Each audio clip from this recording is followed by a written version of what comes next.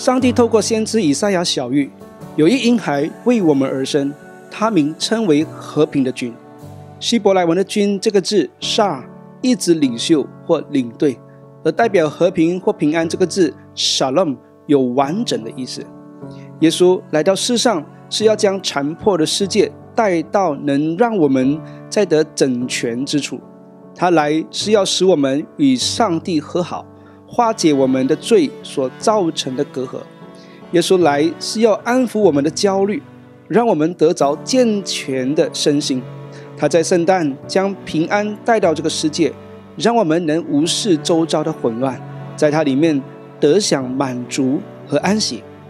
不论你在这个人生时节里面临什么样的挑战、疾病、关系破裂、忧郁或寂寞，让耶稣的平安与你相遇，亲自安慰你。耶稣要用他的爱来安静你的心，使你全然信靠他。你可以在他里面。完全战胜这场人生风暴，让我们一起祷告。耶稣，谢谢你为我带来平安。